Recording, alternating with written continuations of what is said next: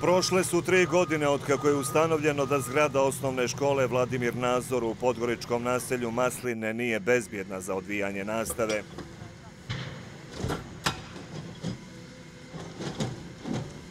Godinu nakon toga zgrada je srušena, a sa izgradnjom nove krenulo se u avgustu prošle godine.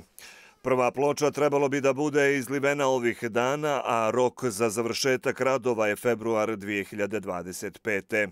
Ono što je zanimljivo jeste da je na prvobitno postavljenoj tabli pisalo da je rok za završetak radova januar naredne godine, što je naknadno izmijenjeno, čime je rok za izgradnju već probijen. Ipak, rukovodstvo škole, učenici i njihovi roditelji nadaju se da će njihovim podstanarskim mukama početkom naredne godine doći kraj. Od februara 2021. godine e, naša škola se nalazi u vanrednoj situaciji. Tada je građevinski fakultet donio stručno mišljenje da paviljoni naše škole nisu stabilni, odnosno nisu bezbjedni za boravak djece i od tada je krenula ova agonija i ova, da kažem, iscrpna i izuzetno izazovna situacija za sve nas. Marković se nada da postavljeni rok za izgradnju škole neće biti probijan i da će u tom roku imati novu savremenu školu. Jer je sa ovim sadašnjim tenderom raspisano i opremanje nove škole. Tako da drugo polugođe sljedeće školske godine mi se nadamo da ćemo startovati u novoj školi.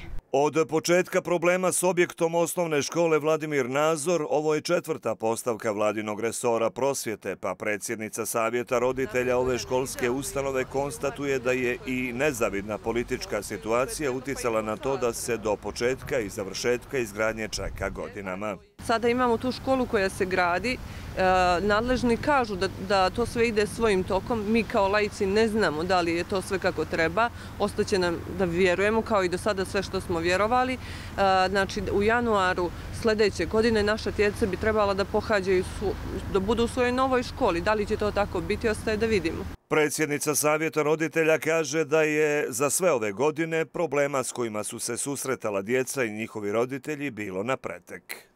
Pravo da vam kažem, ne znam odakle sve da krenem. E, toliko je bilo problema, toliko je bilo, kažem, nekih e, stvari gdje smo morali praktično da vučemo ljude za rukav da rade svoj posao.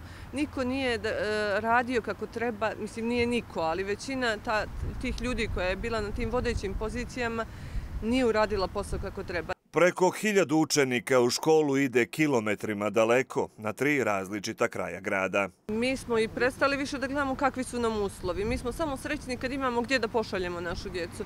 Moram naglasiti da je obezbeđen prevoz za sve tri škole. To su škola Luča u Doljanima, Marko Miljanov na Konjiku i u Tološima Novka Ubović.